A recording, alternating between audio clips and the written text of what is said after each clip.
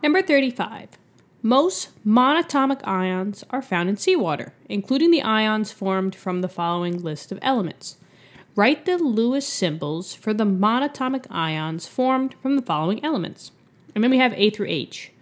Okie dokie. So it looks like we need to first turn all of these, A through H, into their respective ions. And remember, ions are just charged atoms. So first off, we have to turn all of these into their ions, right? They're charged atoms. And that's knowing each atom's oxidation states. All right, so we have to memorize the second trend, the oxidation state trend for main group elements. So you guys should know that group one is always a plus one charge. They want to lose one electron when they bind. Group two is a plus two charge. They lose two electrons, plus three, plus or minus four, and now you start gaining electrons. So we gain three, we gain two, we gain one, and these don't gain anything because all other groups will want to be like the noble gas groups. That's why these charges are the way they are the way that they are, right?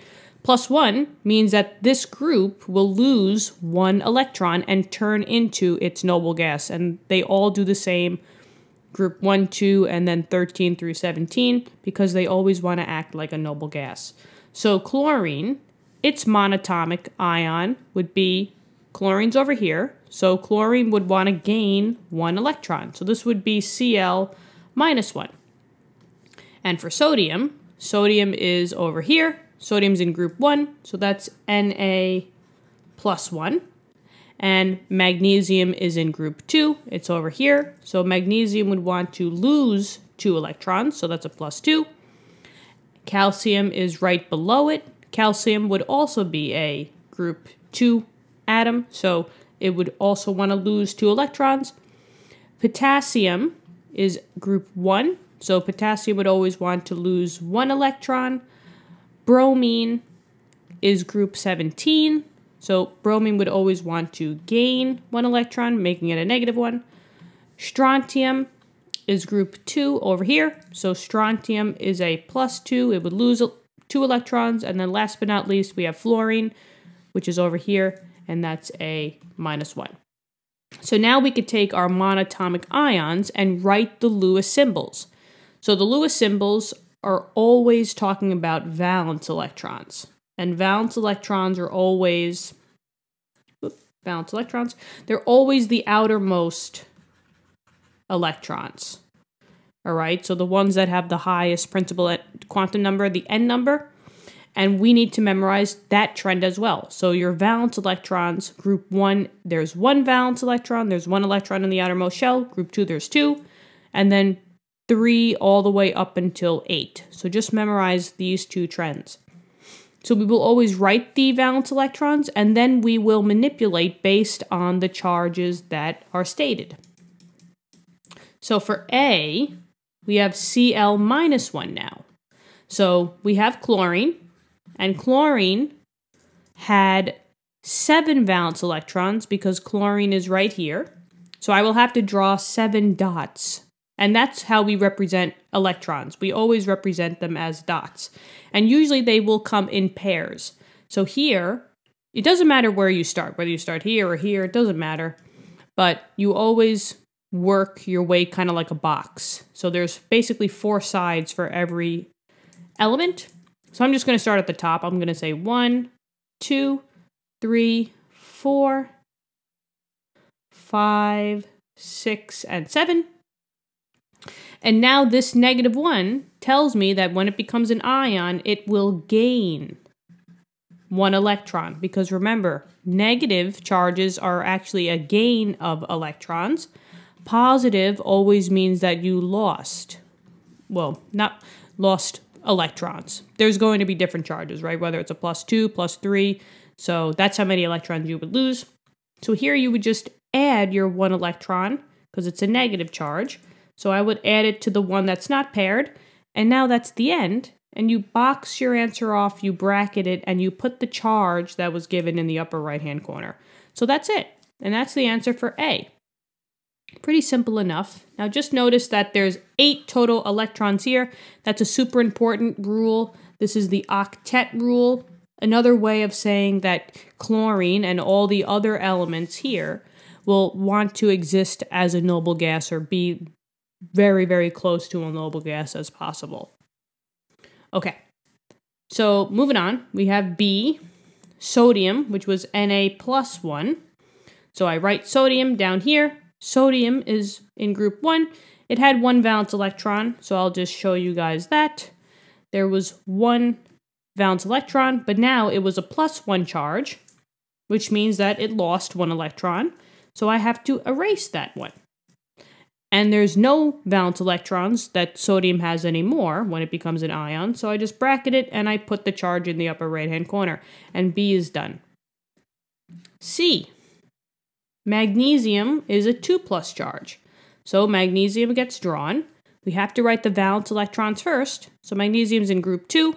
It has two valence electrons. So I will draw them. 1, 2. But now it's telling me that plus 2 means that you lost two electrons. So you have to get rid of them. So I will erase the 2 that I drew. And now, when magnesium becomes an ion, it doesn't have any valence electrons. So I will just box that answer off, bracket it off, 2 plus. Let me just make that a 2, 2 plus, and C is done. D. We have calcium. Calcium is just below magnesium on the periodic table. That also has two valence electrons. So, and let me write the charge here. This was a 2 plus. So calcium has two valence electrons, but now the charge is telling me that calcium will lose the two electrons because it's positive. So I got to go in there and erase the two electrons. And now, when it becomes an ion, calcium has no valence electrons. So it is a 2 plus. And there you go. Halfway through, but you guys, hopefully you guys get this. Let me know in the comments what you think. Potassium is a plus one charge, so potassium's written.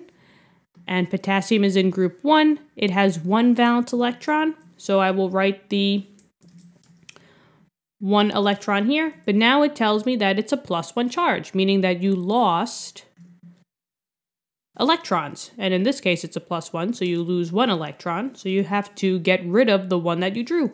And potassium, when it becomes an ion, doesn't have any valence electrons anymore, so it just stays like that. And E is done. Next is F, bromine, which is a minus one charge. So bromine's written. Bromine is over here. It's in group 17 or 7A, so it has seven valence electrons. So one, two, three, four, five, six, and seven. And now it's telling me that it's a negative one charge, which means that it gains one electron. And there's one more spot to put it, so I will put it right here. And now since it has a charge, you box it off, and it's a negative one charge.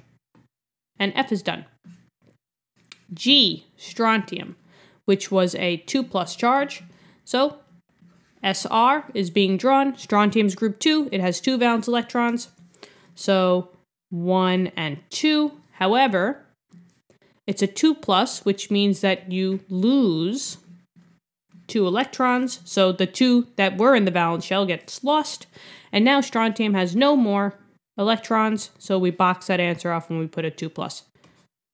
And then last but not least, we have H, fluorine, which is a minus 1. So F and fluorine is over here. It also has seven valence electrons. So one, two, three, four, five, six, seven. And now it's a negative one charge, which means that we gain one electron. There's only one room. Well, there's only one spot left, right?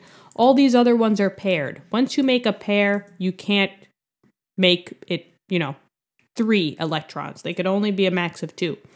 So it will go right here because now there's the nice pair. And then we just box it off or bracket it and we put the negative one charge. And that's the answer for that. And now 35 is done. So just take note that in all of these, you will always be obeying the octet rule, which means that you will be a noble gas with your valence electrons at the end. Um, metals will always lose their valence electrons to have no left over.